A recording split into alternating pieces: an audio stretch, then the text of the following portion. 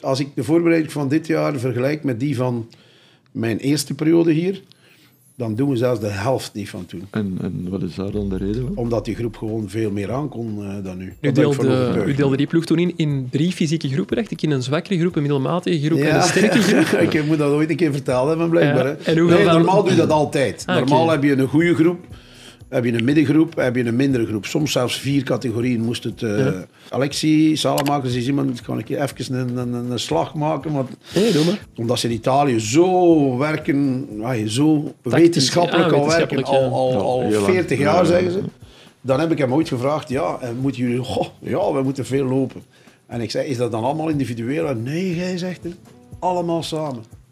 Allemaal samen, hè? Zoals wij vroeger, vroeger ja, deden. hè. voilà, ja, dat was ook Zoals zo. wij vroeger Vrij ouderwets, inderdaad. En ja. ik zeg, ja, maar ja, ik zei, dat is een, dat is een slachting, ja, maar niemand gaat eraf. Hij zegt, iedereen weet, als we eraf gaan, ja, zijn we, zijn we